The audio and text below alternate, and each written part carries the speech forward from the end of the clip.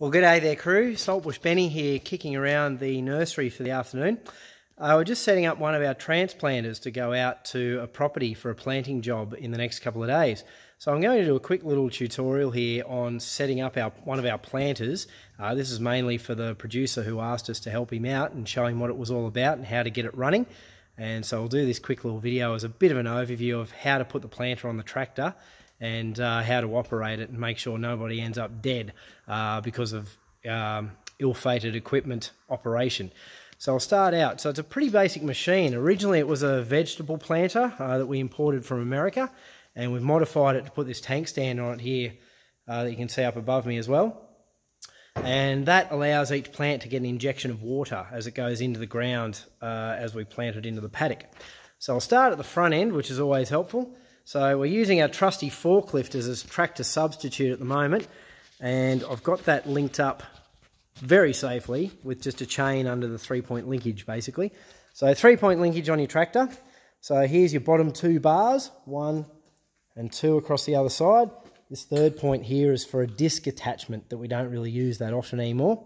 And then our third point is up here. So this is where the adjustable third arm will go on the tractor, uh, all that above the tank.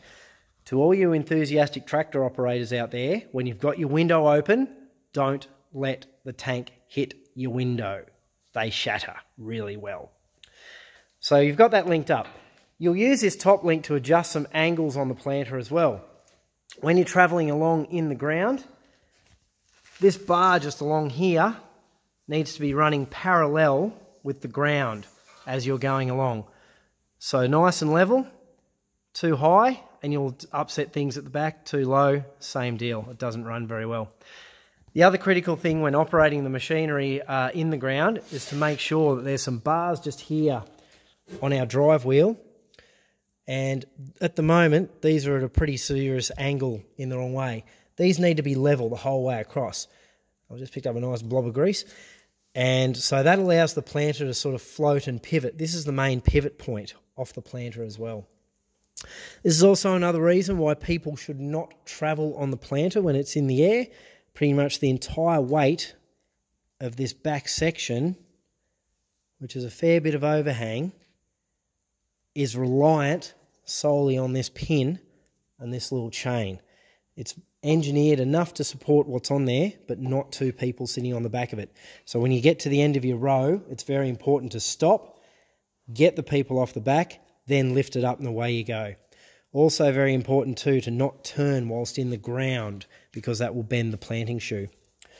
I'll move a little bit along a bit further to creature comforts. So these are your two seats, one and two. So two people sit there facing backwards going the other way. And then you have your trays in front of you as well. So this is where the plants will sit.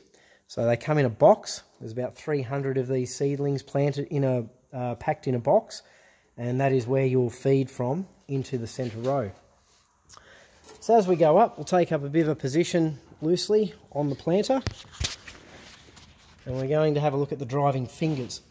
Now as our drive wheel at the front rotates, we'll come along and these will go into the finger very easily. You need about a three finger spacing to allow the plants to be deep enough into the ground.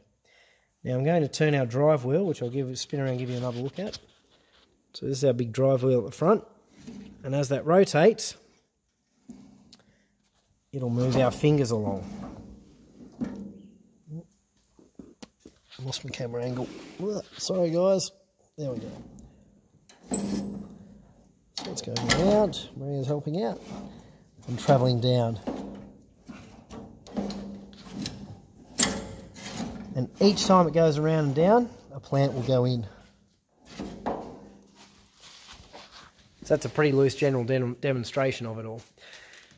As the plant goes around, it'll slowly come out down the bottom there.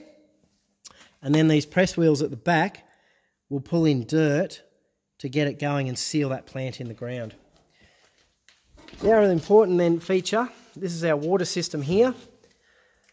So this will travel up and down, giving that plant an injection of water as it goes along. Our tank's empty at the moment, so nothing's coming out that will open up and down to give an injection into each plant at the base of the roots.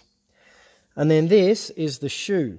So this is what opens the ground up and creates a nice furrow for the plant to travel along. Now as our plants go down into the shoe, it's very important that they're coming down, travelling along like so, and then as they turn, it's important to get the tip of your root just here level with the bottom of the shoe. Otherwise, it's going to sit crooked on the furrow too deep and it'll be bent over like that and the plant won't grow very successfully. Not deep enough and it's not going to get grabbed by the press wheels and it will just flick out the back and lay on the surface and dry up and die. And there goes your investment wasted. So just make sure you've got the plant hanging out far enough that it's actually coming out and being collected by the shoe very successfully. How far? About mm. there. Mm-hmm. Ta-da. Now, otherwise, that's about the long and the short of it, guys. So again, going in at the top, putting them in, getting that good sort of three finger spacing. And then that'll travel down along it goes. Again, just those quick safety reminders. Please do not ride on the planter when it's up in the air and make sure you do not turn the machine when it's in the ground. Get to the end of your row, stop, get everyone off, then lift it, turn around, and away you go. Also to have a 20 bit. And then at the back here as well, if you need a little bit of extra weight, there's a little uh, 20 litre drum ring holder as well. So they'll add extra weight to the press wheels to keep that down in the ground. Pretty simple operation. Uh, if you do have any questions or queries, give me a hoy, stick some comments on or whatever. But that's about it. You can see where the tank gets filled up at the front and you're away and off and racing. So that's the adventures of all our saltbush planting and how we get our seedlings into the ground. So yeah, give us a call, come and check it out, and uh, we might see one of these on your place one day. Have a good one, guys, and we'll catch you on the next one. Good, very good. Pretty good little